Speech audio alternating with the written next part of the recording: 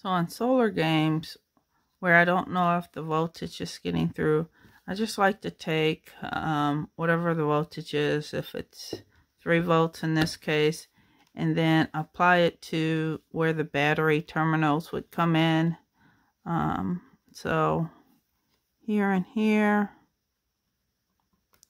And then just see if, um, if applying an external voltage will actually get it to come on.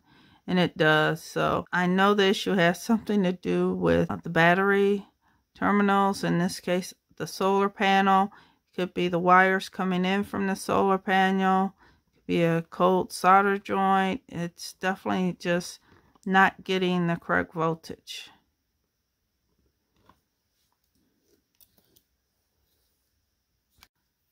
All right, so this is interesting. It almost looks like there's some type of short going on.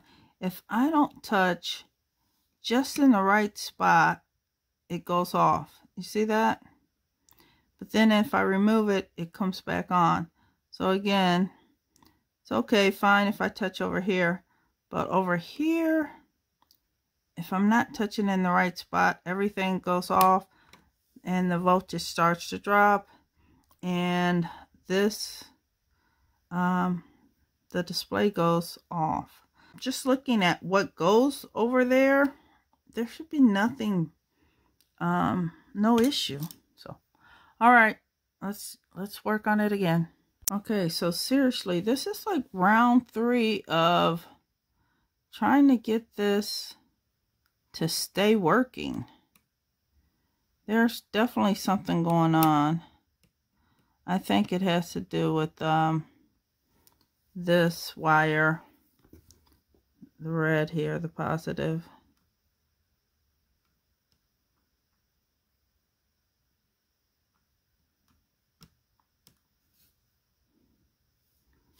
Let me just kind of, this is much more stable.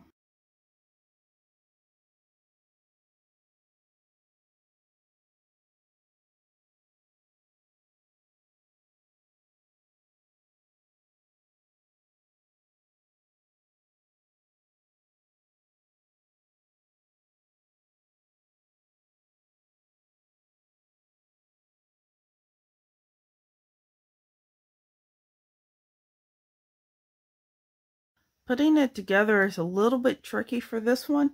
I actually have to like put slip this in over those wires. I think it's there to protect it. Then I'm going to flip up the screen here um, and align it with these pads and everywhere. So everything goes in nice. Let's hope. I just need to flip this up.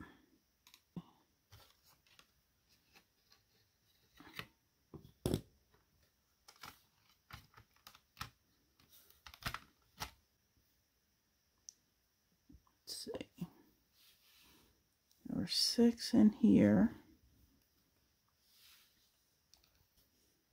All right.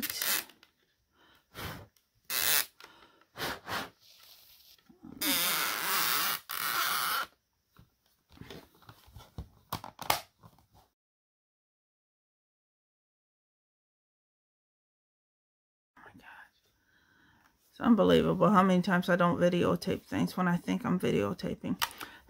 All right, so I have it all back together. And for whatever reason, it's not working. So I think it has to do with, see, if I, uh, if I apply pressure, it comes on. But right there, there's that wire. I think it's the red wire. So it goes off. So if I apply pressure, it comes on. If I remove the pressure, it goes off. So I think it still has to do with our wire, which really sucks because um, it could be that the wire actually is broken inside of the casing, which is always a pain.